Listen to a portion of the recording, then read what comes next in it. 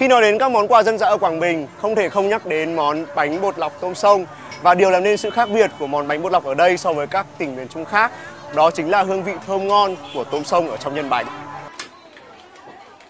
Và hôm nay tôi sẽ cùng với mẹ Xuân, một trong những người làm bánh bột lọc ngon nhất ở Quảng Bình, đi chọn mua tôm sông ở chợ Đồng Hới. Mẹ ơi, mình làm ờ, bánh bột lọc thì mình làm tôm tôm bé, tôm to à?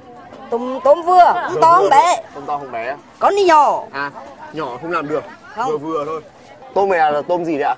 tôm đất Tại sao tôm này làm bánh lại ngon à? Mà? vì ờ, thiệt tôm ngon tự nhiên tôm thiên, thiên nhiên đó tôm này hàng tươi này mình bánh ngon này À, ghê nó có còn nhảy tách tách thế này đúng không? Vâng. Đâu nó có sống luôn nhỉ?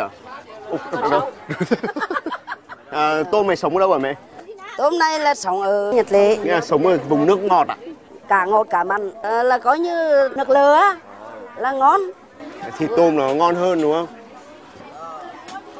Đây là loại tôm dùng để làm bánh bột lọc ở Quảng Bình và như mẹ Xuân chia sẻ thì loại tôm này sống ở gần à, cửa sông cửa biển. Thế nên là à, vị tôm rất là vừa phải do độ mặn của nước cũng là vừa phải đúng không mẹ? Tôm đã được làm sạch và bây giờ tôi với mẹ Xuân sẽ xào tôm. chắc là rồi Nóng mẹ nhỉ? Vâng Vâng mẹ nhỉ? hương hương vị gia quê là phải thổi củi thổi củi là phải có khói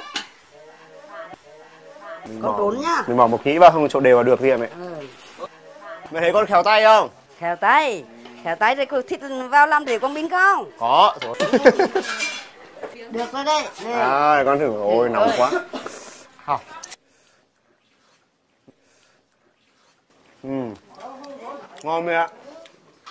Quả thực là vị ờ, của tôm sông rất là đặc biệt. Vỏ thì không quá cứng như tôm biển. Và hương vị thì đậm đà hơn rất nhiều so với tôm đồng. Hơi cay tí mẹ ạ. hơi cay à? Ừ. hơi cay thì ngon tôm hợp khẩu vị cay Ừ.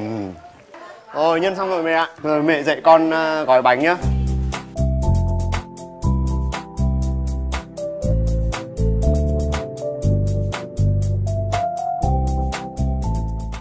Rồi, bánh đi rồi. con đổ lên này À, mì hấp trong khoảng bao lâu thì được hả mẹ?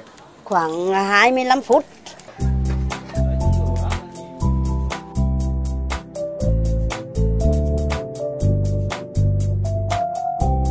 Như vậy là sau cả một ngày chờ đợi thì bây giờ tôi đã có cơ hội được thưởng thức món bánh bột lọc tôm sông của mẹ Xuân.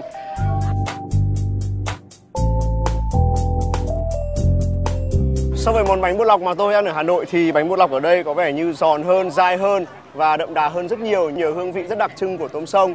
Bên cạnh đó tôi cảm thấy là bánh bột lọc dường như ăn ngon hơn rất nhiều khi mà ăn nóng như thế này. Nếu có dịp đến thăm Quảng Bình và nếu là một người có tâm hồn ăn uống thì tôi thực sự khuyên bạn nên ghé thăm quán bánh bột lọc của mẹ Xuân.